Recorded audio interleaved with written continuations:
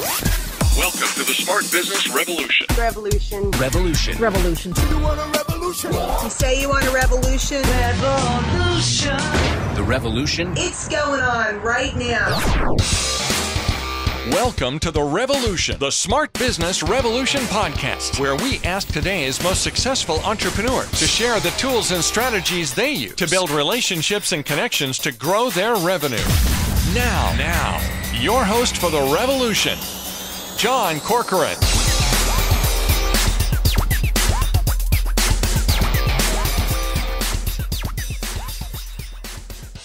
All right. Welcome, everyone. This is John Corcoran. I'm the host of the Smart Business Revolution. This is a live episode, and I'm here with Dr. Jeremy Weisz. Dr. Weisz, how are you? Let's rock it. This is like right. a very tough subject today. This is not an easy topic because we're going to be talking about how to choose a name for your show or your podcast, which is a one that a lot of people struggle with. And I've had more than one conversation with people where it's something literally people have said that they have not started a podcast for like two or three three years, years. because Yeah. because they couldn't come up with the name of a show. So hopefully we're going to simplify it. We're going to make it easier for you. Um, I love doing these these episodes because they're a lot of fun. These are slightly different from the episodes that we usually do, where we're featuring all kinds of different CEOs, founders, entrepreneurs. You know, I've had Netflix, YPO, EO, Activision, Blizzard, Lending Tree, OpenTable, Axe Software. You've had P90X, Orlando Magic, Einstein Bagels. Who else? You had some great guests Atari. RX Bar, Quest Nutrition, some really interesting people. So definitely, it's such a privilege to be able to talk to such great guests each week. And of course, this episode is brought to you by Rise 25 Media, where we help B2B businesses to get clients, referrals, and strategic partnerships and build great relationships and do business development and do strategic partnerships and create content with done for you podcasts and content marketing. And if you have any questions about how to do that, send us an email at support at Rise 25 Media, or you can also visit our website at rise25media dot com. All right, so we're going to be talking about naming. How do you choose a name for your show or your podcast? And first of all, we should point out that this is in a B2B context. We're not talking about naming some kind of show that's going to be on NPR or that you're trying to build some kind of some niche some audience. crime series show that is not our expertise. Just put murder in the title and you're fine. Um, but yeah, in our case, murder in the title, eh, probably not going to help that much. So let's first break down, Jeremy, some of the bad names out there and the bad You know, mistakes people make. Mistakes that people make. Yeah. Yeah. I mean, I guess it's mistakes and then just how to avoid mistakes. You know, when you're thinking of a name, you know, look up the name to see if the show already exists. Some people choose it and they haven't even searched, you know, just Google it and see if there's any, you know, search the name you like in podcast, see if anything shows up. Search on Amazon the name to see if any books come up. Because if you have the same name as a book, and John, we were talking about this earlier, well, they're already going to think of that person in that book and not your podcast. And you also want to take other people's IP. And I'm not a lawyer. John actually is, but but um, you know, this is a disclaimer that we are not giving legal advice here, but you should definitely make sure, you know, there are probably trademark, you know, they you know, experts in this that that's all they do. But just do some searches to see if people actually own it. You also said, you know, don't choose a name that is already trademarked or someone owns the domain or if You can- someone it's on Amazon. that up. Yeah. Yeah. So Yeah, yeah, yeah. It's, those different databases is a good place. iTunes is a good place to look. You can look on YouTube. You know, different Yeah. typical search engines that you might search. don't own, don't name your book like the E Myth because there's a book on it. Don't name your book the Four Hour Work Week because Tim Ferriss had a book on it. So just stuff, and people do. There's obviously obscure titles that someone actually wrote a book on that you'd be surprised. And I've done these searches, you know, John, you have too with clients where we look up blog, you know. You know, whatever the name is in podcast, and oh, there's already a podcast, or you look on Amazon, like actually, there's a book called that. So you just have to be careful. Um, Yeah, and and then the other point we want to make is that um, there are also phrases that certain companies or individuals are associated with that maybe the phrase isn't trademarked, but it's definitely associated with that person. So an example might be like Michael Gerber, author of E Myth, um, you know, real seminal business book, is kind of known for the phrase "work on your business, not in your business." You wouldn't want to try and compete with a phrase like that, or when you think of the phrase "start with why." Immediately people think of Simon Sinek. He's he's known for that. That might have been the, the title of his book as well, but it's kind of a phrase that he's known for. Um, so you want to avoid those sorts of mistakes. Yeah. And then also, if your name is too specific, the name of your business is too specific, don't use it. Like, let's say the name of your business is Smith's Roofing and Contracting. Like, well, maybe that's also boring, but but it's too um no no take not to take anything away from roofing contracting, but you know, you just want something general enough because if the person wants to shift the people they have on the show, then it kind of paints you into a corner. And you you brought up a good point, John, also about um, names that if it's you know too specific is bad, but you know you don't want to paint yourself into a corner with something. Yeah, and you want the person to you want people to feel honored to be a part of it. You know, so um, I give you an example. Actually, just earlier today, I was a guest on a show called Power Tips Unscripted. Sounds pretty cool, right? It's unscripted in the sense that it's just like a roving conversation and you're giving power tips. Ooh, I want to feel like someone's my tips are viewed as very powerful, right? It was actually the the name of the company was Remodelers Advantage and it was a community and a company that helped residential remodeling companies throughout the United States. Now, if they approached me and they said, We want you to be on the Remodelers podcast, I might be thinking, Why? I'm not a remodeler. Why would I be on there? But by giving it a broader name like that, which has some cachet to it, people are honored to be a part of it. The other thing is, you mentioned the roofing example, Smith's Roofing and Contracting. Well, you know, roofing company, maybe they get all their leads and their business and their referrals from realtors, interior decorators, architects, if they name it something using roofing or roofers in the title, then every person who's not a roofer who gets asked if they would like to be a guest on the show, it throws up another barrier that might be less likely to say yes. You don't want more barriers. You want to make it easier for people to say yes. Yeah. There's lots of resources on this. So we'll try and boil down some of the simple ones. But um, you know, on that, that goes into the first you know, one of the first criteria we look at when we're thinking and brainstorming with someone with a name, which is what is the result your company or product produces? So, like in the roofing example, John, what you just mentioned is like, well, what do you do? Well, you cover people's house, you cover, I don't know, you could do something, you cover their butt, you cover their family. I mean, something that what do you actually do?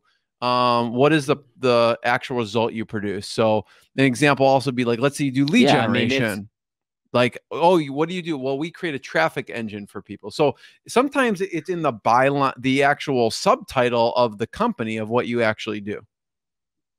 What were you? yeah, say? and uh, we have we have another client that is a furniture company.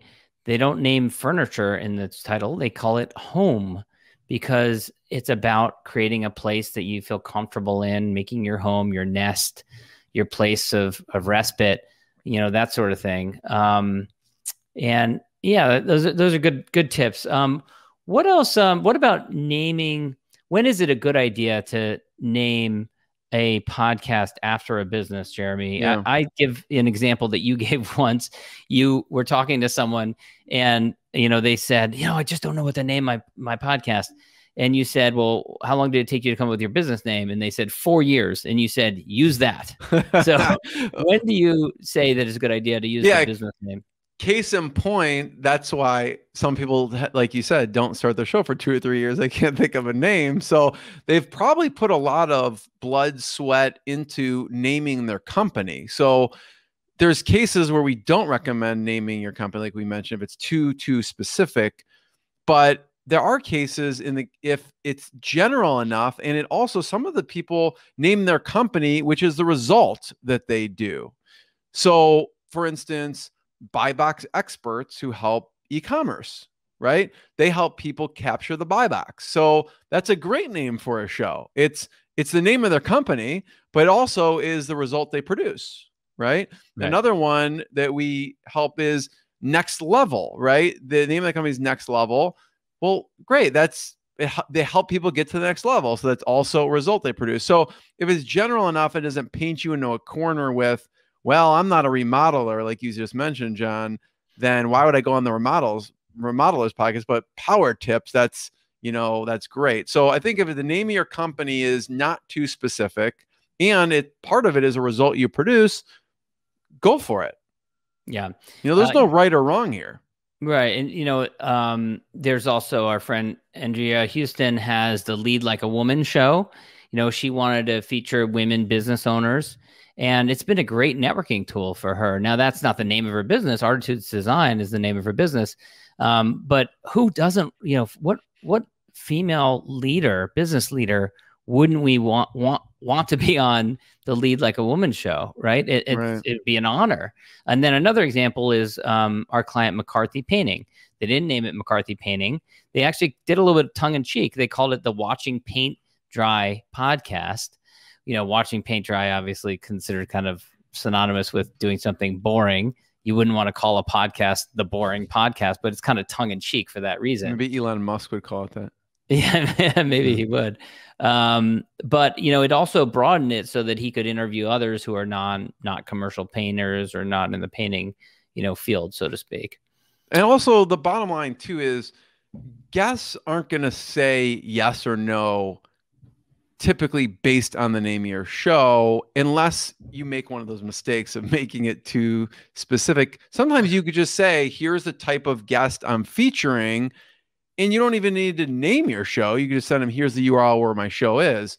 So it's not, I mean, it's important, but it's not, you know, it's not going to just totally flush your podcast down the toilet. And you, by the way, you can always change your name if you really wanted to. There's Yeah. people who rebrand brand the name of their podcast and they keep the same show, but they just name it something else. So you could always name, I think, John, for the first five months of my podcast, I had no name. I had no name on my podcast.